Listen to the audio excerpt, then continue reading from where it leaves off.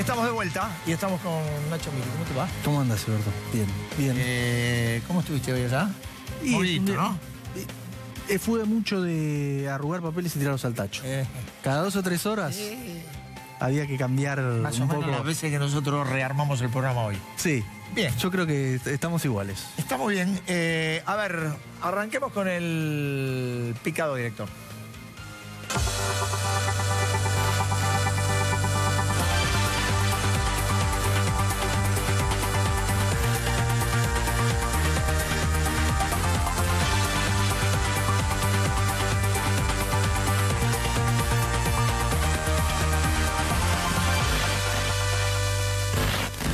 Y aquí estamos con lo que fue.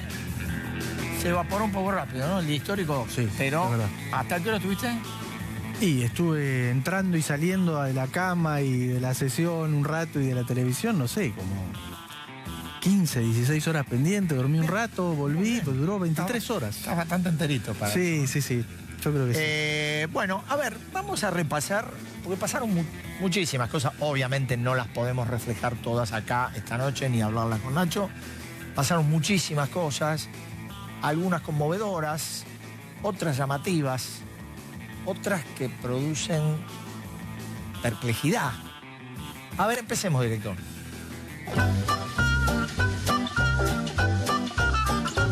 Buenas noches, buenos días a todos, todo, todo, todes, todes. ¿Qué pasa cuando nuestra perrita se nos queda embarazada? ¿No le llevamos al veterinario a que aborte? Lamentamos, uh, pero inmediatamente salimos a buscar a quién regalarle los perritos. Los marsupiales terminan, terminan su desarrollo fuera del seno materno o, o de la hembra. Se arrastran y terminan mamando en una bolsa de marsupio durante meses hasta que terminan su desarrollo. Yo me pregunto si tendríamos el mismo sistema y los bebés de 10 o 15 centímetros estarían prendidos a la teta de sus madres. Cuando llegue el momento del aborto, sería tan fácil tomarlos y tirarlos a la basura como pretenden algunos dentro de este recinto. Entonces me pregunto, ¿cuál será el destino que le vamos a dar a estas muertes? ¿Van a ir a bolsas? ¿Van a ser comercializados? ¿Van a ser por investigación? Creo, señor presidente, que debemos ser lo suficientemente responsables a la hora de, de legislar, donde el proceso se debe anteponer a la decisión. Un embrión de 14 semanas. ¿Sabe lo que es un embrión de 14 semanas? Tiene ojo, retina, duerme con la madre, tiene uña, tiene identidad genética, este, se mueve con. Toma líquido de este, de- del útero, está con la madre. Es una criatura, es un ser humano. Entonces la falta de salud pública no solo se nos va a la mujer, que es nuestro dolor y mi angustia, se nos va en una bolsa de residuos esa posibilidad de vida que una nación no puede, este, no, no, no- puede no defender. Bien, a ver, eh, vamos por parte porque hay mucho. Esta última exposición es del diputado Contigiani por Santa Así Fe. es. Le costó un bolonqui este voto en contra del aborto dentro del socialismo, eh, muy grande, tanto que él, viste que dice que se va a armar un monobloque. Fundó su propio bloque Frente Progresista. Digo, se llama, ¿no? Frente Progresista. Exactamente. Eh, digo, eh, uno podrá estar o no de acuerdo con su exposición. No se le escuchó decir ninguna cosa rara, ¿no? No, lo de los perritos, ni de los marsupiales. los ni sí. ¿Vos sabés lo que son los marsupiales? Y sí, lo, sí, lo aprendí en la primaria. Mirá vos. Eh, son un... Pero lo explicó el diputado. Eh, bueno, pero hay- hay uno de los marsupiales que es el peor de todo.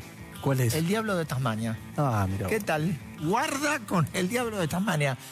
Faltó, no lo nombraron. No, no, No, lo nombró, no lo nombró. Bueno, está el canguro también. y Sí, eso- sí, eso sí, hay Pero lo que, lo que uno se sorprende a veces, digo, y sí, con el mayor respeto por todos los señores diputados, eh, digo, los señores diputados están donde están porque la gente los votó, ¿no? Así Está es. muy claro. Pero a veces se utilizan argumentos No hacían falta muchos de esos argumentos Me parece que no. ofensivos hacia las mujeres, ofensivos hacia, Me parece que no. Me parece que no. hacia la inteligencia. Eh, vamos a ver ahora otros dos testimonios de otro carácter. A ver, a ver directo.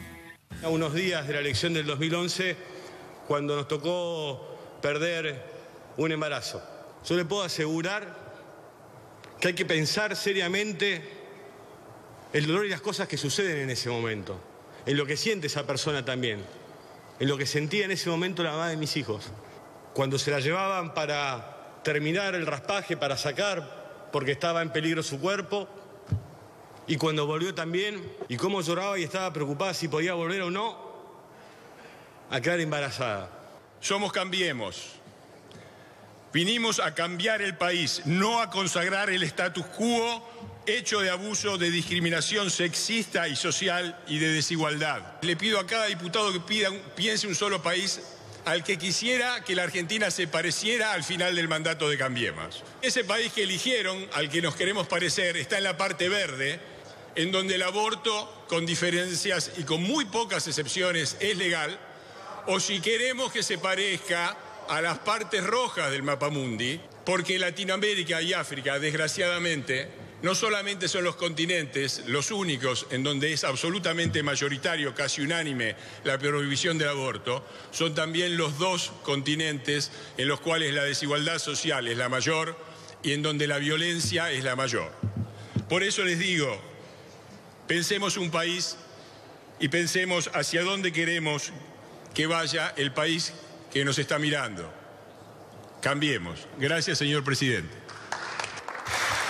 Gracias, señor diputado.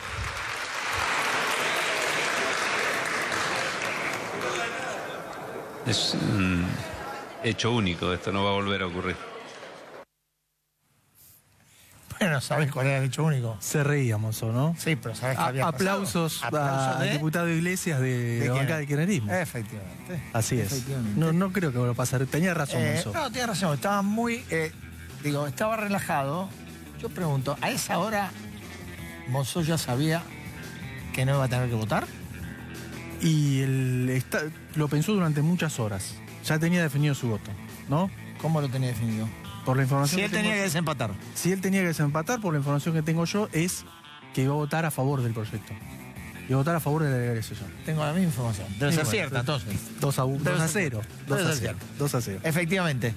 A Eh, Máximo Kirchner también lo aplaudieron de otras bancadas. no. Son dos discursos. A ver, dos discursos. Uno desde una experiencia personal con una carga emotiva fuerte. exactamente. Y otro desde una mirada un poquito más macro y, y más estadística, ¿no? La que hizo Así Fernando es. Iglesias. Eh, a ver, este proyecto, Sí, que sacó cuatro votos de diferencia exacto. 129 a 125. por la afirmativa, ahora va al Senado. Pero antes de que vaya al Senado, veamos una cosa. A ver. Asignación universal por hijo que vamos a incorporar, porque viendo las estadísticas, viendo las estadísticas, hemos decidido a seguir apostando a la vida. Cuando hablamos de la evolución de la mortalidad materna, que tiene que ver siempre con la inequidad de género, pero fundamentalmente con la injusticia social. Las causas directas, las causas directas, las que tienen que ver con complicaciones, explican más de la mitad de las muertes de las mujeres por aborto. Por- superan las del aborto. El 21% es el, el aborto y las directas son el 59%.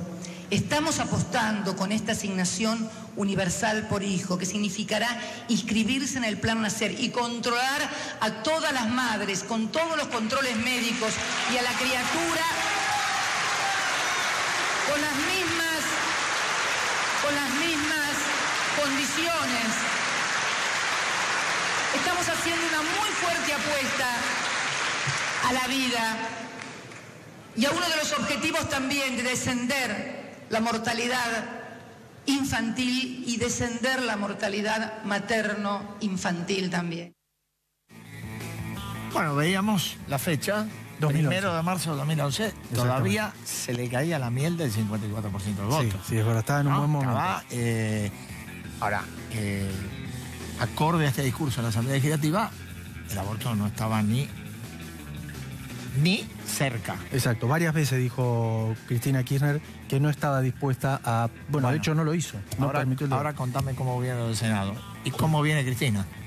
Bueno, en principio lo que Cristina hoy dijo, hizo una voltereta. No anunció que iba a votar Otra. ella. Sí. Pero una voltereta que ya parece irreversible, por lo menos por las próximas semanas, parece irreversible. Dijo que el bloque entero iba a votar a favor del proyecto de despenalización del aborto. No dijo yo voy a votar eh, a favor del proyecto de, de legalización que viene de los diputados. O sea que ya hay un nueve, nueve senadores que anunciaron su voto por la positiva. También hubo otras dos noticias, que fue que Miguel Ángel Pichetto y Luis Naiden, Sí. los dos jefes de los dos bloques. radical. Exacto. Argentina Federal Y Cambiemos. Cambiemos. Y cambiemos los dos jefes de las dos bancadas con mayor cantidad de senadores, avisaron que ellos, al menos personalmente, estaban eh, en condiciones de adelantar que el proyecto iba a tener una sanción favorable. Hay que decir, hay que, hay que hacer una corrección en este punto. En este caso, ni Pichetto ni, ni Naidenov pueden responder por todo su bloque. Están hablando por ellos y por parte de su bloque, porque como ocurrió en diputados, en el Senado seguramente va a haber un corte transversal y no todos los diputados de todos los bloques van a votar igual, salvo, según anunció eh, Cristina Kirchner, los Sí, del, lo- los del bueno, kirchnerismo. A ver, si Cristina dice en su bloque que va a votar en favor del aborto, ¿puede que va a haber alguien que va a decir no, yo, yo- yo no. Parece un bloque más Me disciplinado parece- que Me parece que ese reflejo se conserva desde Sí. el 2007. ¿eh? Sí, es verdad, en eso sí. Y además hay otro, hay otro dato que dieron tanto ver. como Pichetto, que es que el tratamiento va a ser rápido. Probablemente por las fechas que estuvimos calculando nosotros hoy en el diario, el 18 de julio se podría llevar ya al recinto. 25 o 26, martes 26, podría empezar a tratarse ¿Martes en las 26? condiciones. Sí. ¿No sabes Hay- lo que pasa el martes 26? ¿Tenés algo ¿No preparado? sabes lo para que ese pasa el martes 26? Sí, ¿Qué pasa el 25? Vamos a empezar por el Sí, 25. Sí, el 25 hay un paro. Hay un paro. Después vamos a hablar la de esto. ¿Y el 26 qué pasa? Y el 26, Juega 26, Argentina, tengo Nigeria. algo, tengo algo Argentina, anotado. Nigeria. Bueno. Tercer partido del grupo clasificatorio del del Mundial de Rusia. Exactamente. Bien, hablamos de el paro recién. Sí, A ver, sí. eh, a ver, algo pasó hoy. La gente mucho no se enteró, salvo No. los que estuvieron. Porque ahí, ahí está, estamos viendo. eh, hoy hubo una huelga de Camioneros. CTA, Claro. Michelillaski y Exactamente. camioneros. Y docentes. Y ¿no? docentes, Y docentes, docentes de la provincia de de la Buenos provincia de Aires y Buenos Aires. Y hubo una marcha que la estamos viendo Así es. En, eh, en la Plaza de Mayo.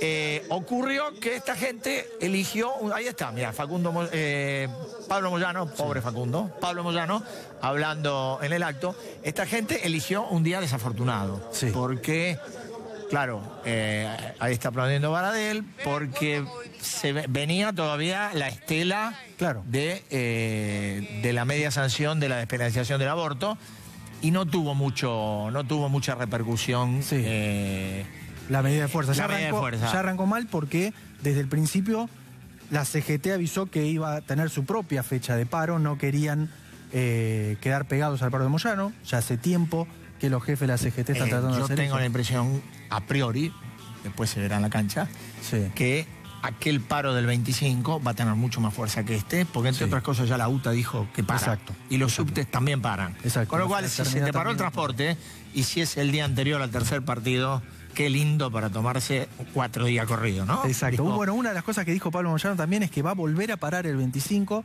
y que lo quiere extender al 26 y al 27. Ah, Tres vos. días. Podría tomarse todo el año, Pablo Moyano. ¿eh? Brasilera, una onda Sí. brasilera. Eh, bueno, eh, Pablo Moyano fue hoy protagonista de un hecho, no, no, no estuvo él solo, pero veamos, a ver, director, esta foto porque es muy llamativa. ¿eh? Los tiempos cambian, señores. Sí, señor. Este es el momento en que Pablo Moyano se está acercando y acá lo está abrazando a Eve de Bonafini. A ver, vos tenés mejor memoria que yo. Sí. Entre otras cosas, porque tenés varios años menos. ¿Vos te acordás las cosas que Eve Bonafini decía de los Moyanos? Sí, sí, sí. Mm, eh, no solo Evo, Evo Donafini, sino buena parte del kirchnerismo. Moyano no fue un personaje, Mm. creo que hasta ahora, digamos, recién ahora empieza a, a- a ser un personaje un poco más querido por eh, el kirchnerismo, por esta convergencia circunstancial sí. de enderece, ¿no? ¿Vos, vos, vos tenés más ideas de decirle panquequismo? No, no sé, con ¿No? Pablo Moyano yo no me meto. No te metes. No, bueno, no. muy bien. Eh, te agradezco muchísimo. ¿eh? Bueno, no, Y- muchas y te gracias voy a a esperar otro jueves. Perfecto, Nosotros dale, vamos a un cuando corte y estamos con Silvia Los Penato.